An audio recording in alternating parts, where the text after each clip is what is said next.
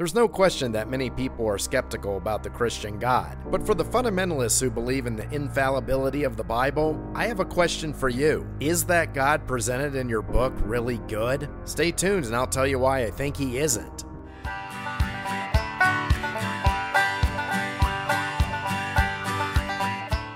Now this video was pretty easy to make because it doesn't require any research. Just an array of thoughts on items about the biblical God that I've been contemplating for decades. Inquiries that I don't think fundamentalist Christians or even non-fundamentalist Christians even bother to think about. And that is, is the Christian biblical God really that good? Now my concept as a theist an unspecified theist at that, which many will claim is just a cowardly atheist, but would be that the higher power I think of is a far distant cousin from the one I read about in the Bible. As a matter of fact, I can't think of any religion that's great for mankind, since the basic premise of all of them is fear.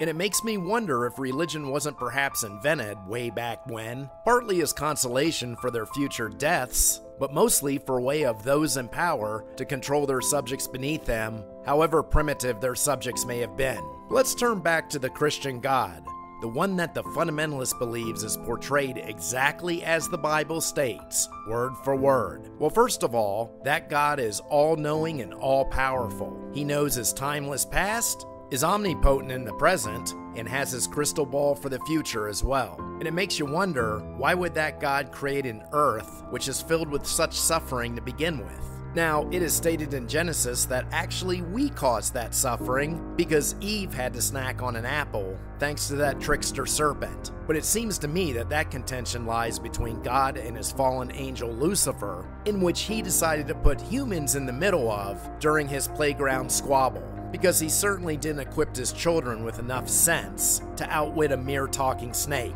So it makes you wonder was mankind created just for his amusement so he could sit back and watch and see who would go to him and who would fall to his enemy? And if they did fall to that enemy that he created, that enemy that was created because of his ancient battle with him, then he sticks him in the lake of fire for eternity. So he induces suffering in a mankind that he created, knowing full well that they were going to fail to begin with. Anyone else besides me seeing a little bit of injustice here? And then, this deficient race, whose descendants had nothing to do with Adam and Eve in original sin, are condemned in that sin to the point where God decides to just wipe them all out, save one family. Enter the story of the Great Flood. He puts Abraham through the mental anguish of thinking he's going to have to gut his own son to show his loyalty to God. He turns Lot's wife into a pillar of salt simply for turning around when she wasn't supposed to, and as if the world wasn't bad enough on its own, he torments Job for decades just to see if he'll stay loyal.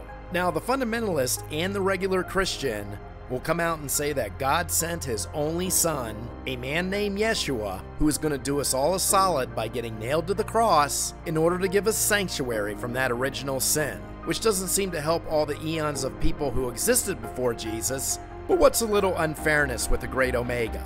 But even with that, there's still a catch. You have to believe in him and his miracles and the claim that he rose from the dead. But the only people that could have possibly witnessed this were narrowed to the Galilee and Jerusalem area. And if we don't happen to believe this little fable, we can join all those lost souls in that heated lake once again.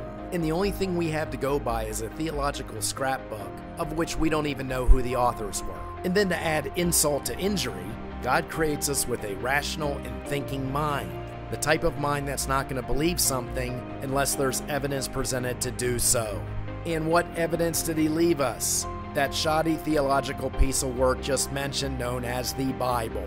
And if God's supposed to be a superior being, it begs the question why didn't he do a better job with this work?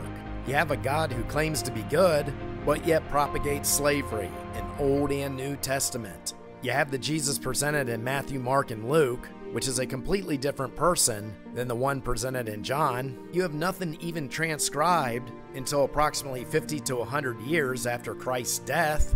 It didn't even put in one eyewitness account of someone who was there and actually witnessed the reappearance of Christ. If you're going to tell us that we have to rely on something completely out of faith, backed by a book that a fundamentalist claims is the infallible word of God, then that book shouldn't be contradicting itself all over the place, which is going to make us think that its chapters aren't authentic, aren't reliable, and aren't the word of God at all. You give us this shoddy manual whose components were written in bits and pieces over time by various authors that we don't know, whose final product was organized by a small yet powerful group of men, the very same men that we know are prone to mistakes and corruption for their own gain. If we don't believe every word of it, then we're condemned to hell.